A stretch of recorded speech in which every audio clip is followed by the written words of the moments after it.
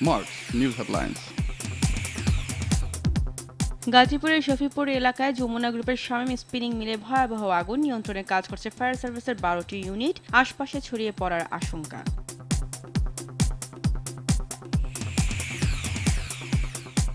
যশোরের বেনাপুর স্থল বন্দরে তেইশ নম্বর গুদামে আগুন পুড়ে গেছে পণ্য বোঝাই ভারতীয় দশটি ট্রাক। আগুন নিয়ন্ত্রণে বাংলাদেশ ও ভারতের আটটি ফায়ার সার্ভিস ইউনিট কাজ করছে। রাজধানীর যাত্রাবাড়ির দনিয়ায় বাসায় ঢুকে শিল্পী নামে এক গৃহবধূকে ছুরিকাঘাতে খুন করেছে এক সন্ত্রাসী। ওয়ারি বিভাগের উপ পুলিশ কমিশনার সাংবাদিকদের জানান, শিল্পীর পূর্ব পরিচিত কেউই এই খুনের সাথে জড়িত থাকতে পারে। জনপ্রশাসন মন্ত্রী সৈয়দ আশরাফুল ইসলাম বলেছেন, চীনের রাষ্ট্রপতির বাংলাদেশ সফর এই অঞ্চলে রাজনীতির জন্য খুবই গুরুত্বপূর্ণ।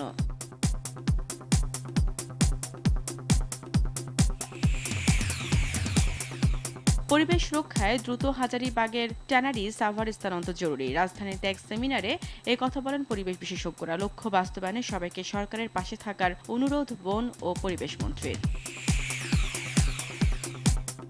বস্তুনিষ্ঠ সংবাদের প্রতিশ্রুতি নিয়ে যাত্রা শুরু করল আরটিভি অনলাইন ডট কম প্রতিষ্ঠানের ব্যবস্থাপনা পরিচালক আরটিভি অনলাইন ডট কমের প্রকাশক হুমায়ুন কবির বাবলু এর উদ্বোধন করেন।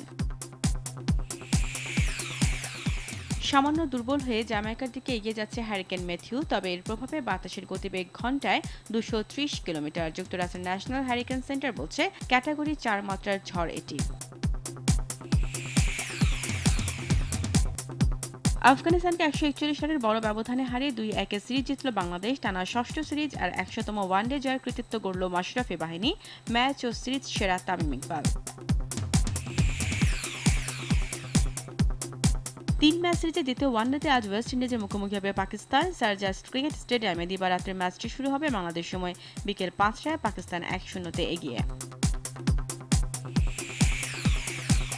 রাশিয়াকে পাঁচ চার গোলে হারিয়ে প্রথমবারের মতো ফুটসাল বিশ্বকাপের শিরোপা জিতল আর্জেন্টিনা। রেফারের শেষ বাসিতে প্রথমবারের মতো ফিফা ফুটসাল বিশ্বকাপ শিরোপা জয়ের আনন্দে মাতে আল বিসে লেসেতারা